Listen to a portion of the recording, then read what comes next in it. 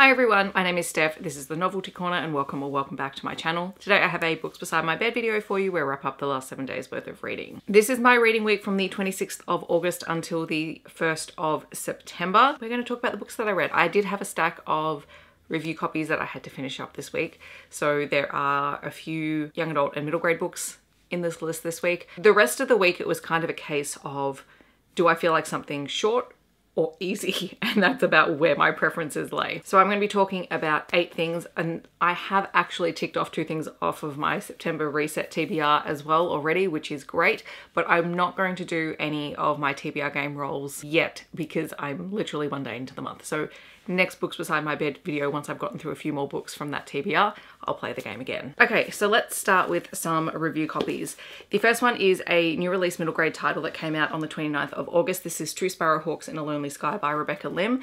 This was sent to me by Allen and Unwin so thank you very much to them. This is a historical story set around, or it starts around 1951.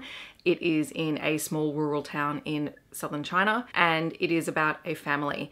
We learn at the start that the husband and the father in this family has left at some point and is living in Australia. He has left behind his wife and his two children and has been trying to build up a way to get them across to Australia. Fu and Pei are the brother and sister in the story and they are living with their mother in poverty conditions. They are living through the Great Leap Forward and all the complications that come with that. And when tragedy strikes, they have to find a few unlikely allies to help them get to their father. So it is their journey leaving everything that they know behind in the hopes of perhaps finding their father. It is a harrowing tale, but one that has some hope in it. There is a really great author's note at the end of the book where Rebecca Lim talks about the research that she did and talking about the kinds of journeys that immigrants would have faced trying to get from one country to another back then. And it was just a really wonderful read about a part of history that I don't know all that much about and I'm glad that I have read. I also had to read Never a Hero by Vanessa Len, but before that I had to read Only a Monster, which is book one in this trilogy. So this is kind of a paranormal fantasy. It, the world is very much Earth-like, but there are a group of individuals within this world who are called monsters. And monsters are humans who can steal the life force from regular humans and use it to jump forwards and backwards in time. Our heroine in this series is Joan and she is one of these monsters, but she doesn't really know that much about it because as a child, she kind of had her family's ability, but had never really displayed it since then and now she is a teenager and she is going on this first date with a guy that she really likes and something happens while she's waiting for her date to arrive and she ends up traveling in time for the first time and it freaks her out because she has no idea that this is the world that her family lives in. And around about this time, a whole series of chain events kicks off where suddenly the mythical hero for the monsters has arrived in town and may or may not have a connection to Joan and the hero begins to systematically kill off very quickly all of the monsters that are living in London. And Joan is able to escape with the assistance of a guy called Aaron who happens to be the son of her family's rival family slash enemy family. This was a really cool concept because you have these characters jumping in and out of time. You have a character who literally knows nothing about the world that she exists in. And despite the fact that she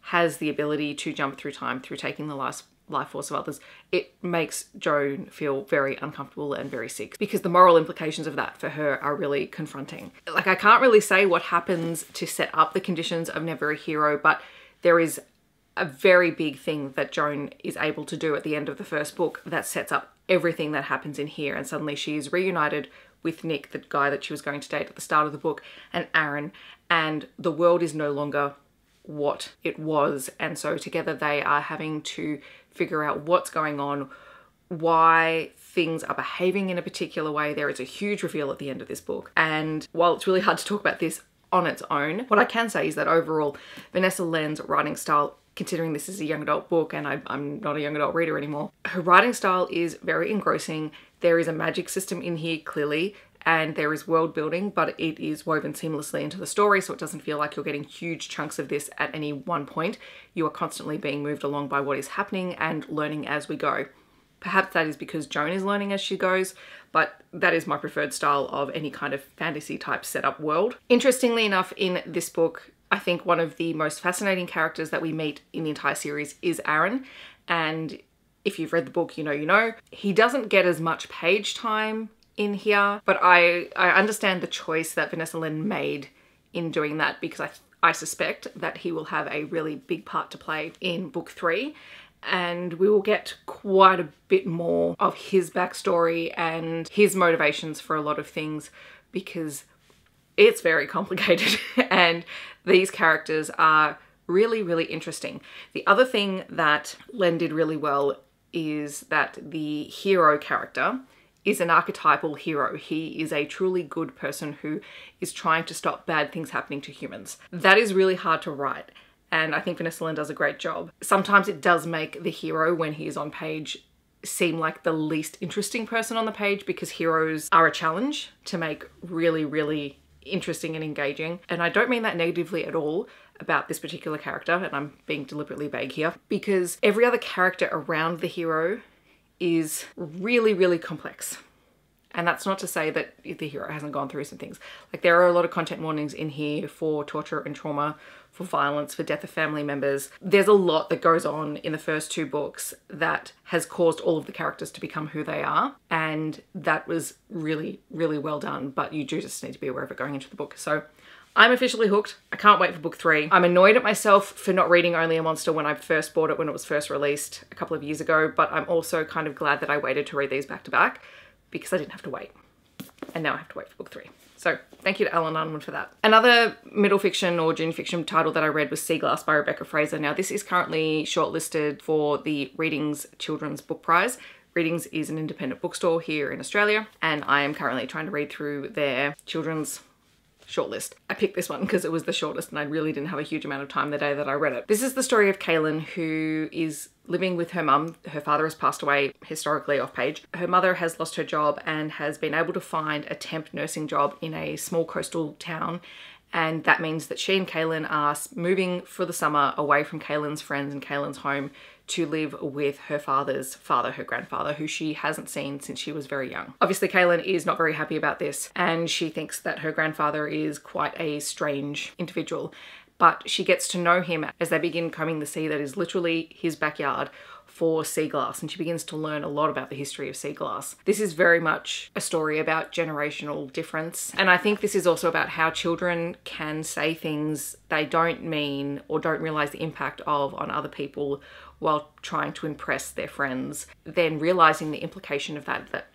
that there is a real consequence. I will say that there is a content warning in here for an elderly relative who ends up in hospital due to, I think it was a heart attack. So be aware of that going into it. But this story was just a really gorgeous, gorgeous little book about reconnecting with family and overcoming that generational difference and realizing that our words have impact and our words have power. It was a really gorgeous little book and I am in the process of purchasing a reading set for my work. Okay, then we move into the adult titles that I read this week. I read Connell by Samantha Whiskey. This is the third book in, oh my gosh, I've forgotten the series title name. I'll leave the the series title linked on the screen.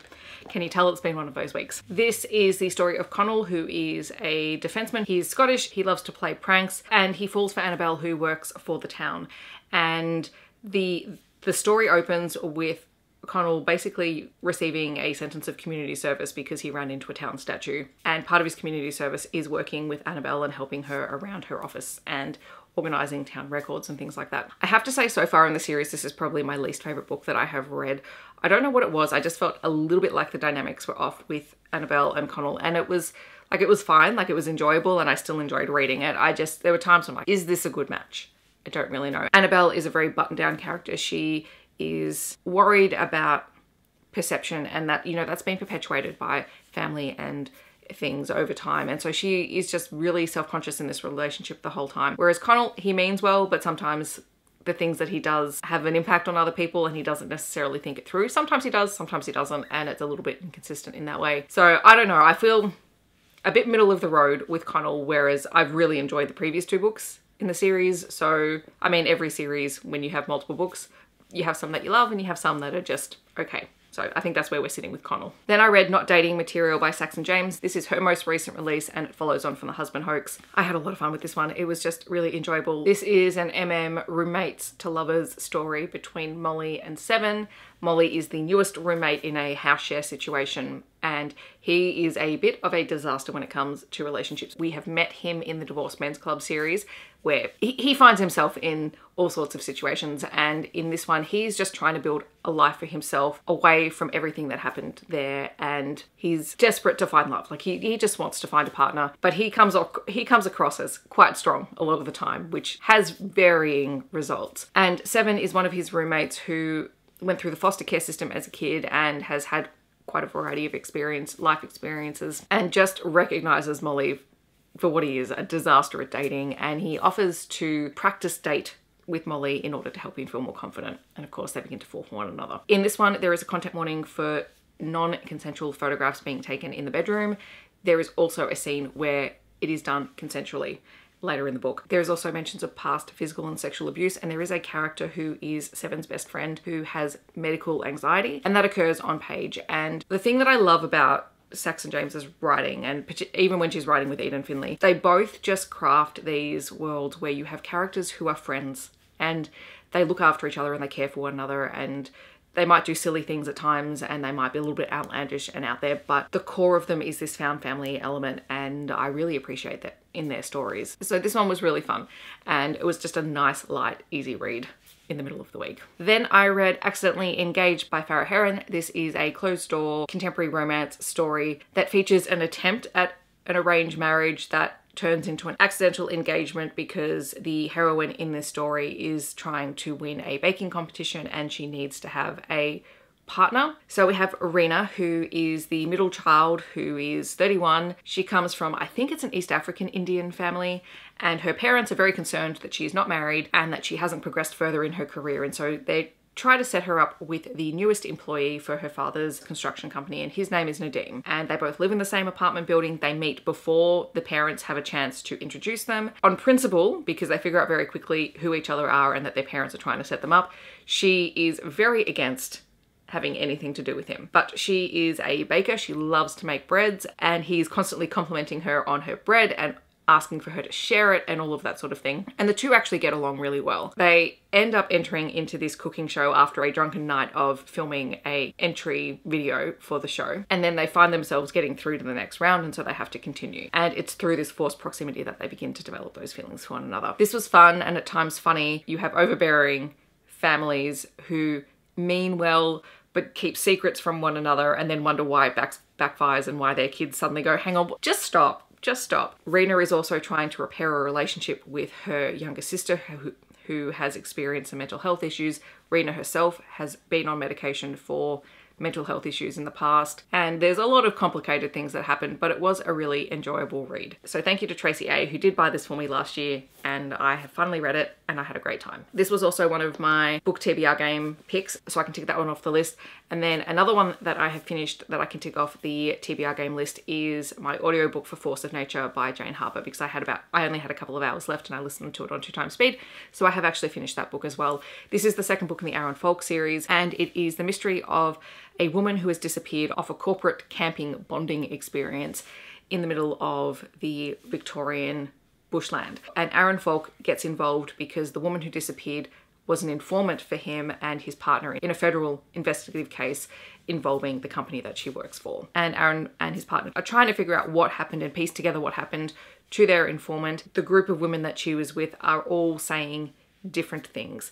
And there's a lot of sort of side plots happening with the children of some of these characters and it all ends up weaving together because what we find out is that this workplace is probably not as wholesome as you would think. These people were all chosen for this camping trip in order to try and develop their social ability with one another and things go horribly wrong for lots of different reasons. And it was just nice being back reading an Aaron Falk book.